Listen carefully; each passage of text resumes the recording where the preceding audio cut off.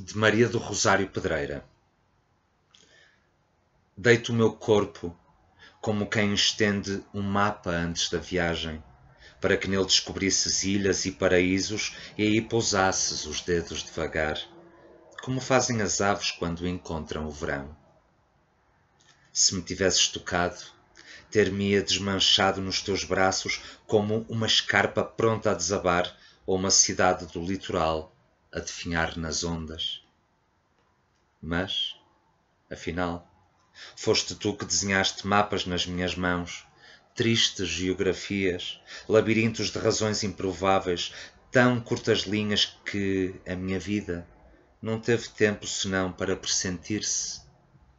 Por isso, guardo dos teus gestos apenas conjecturas, sombras, muros e regressos nem sequer feridas ou ruínas, e ainda assim, sem eu saber porquê, as ondas ameaçam o lago dos meus olhos.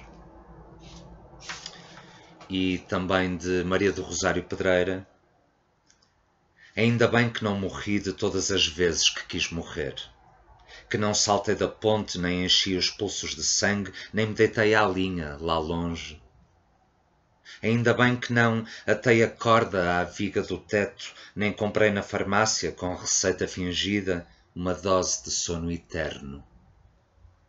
Ainda bem que tive medo das facas, das alturas, mas sobretudo de não morrer completamente e ficar para aí ainda mais perdida do que antes, a olhar sem ver.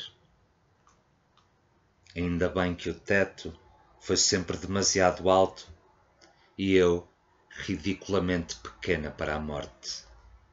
Se tivesse morrido de uma dessas vezes, não ouviria agora a tua voz a chamar-me enquanto escrevo este poema que pode não parecer, mas é um poema de amor.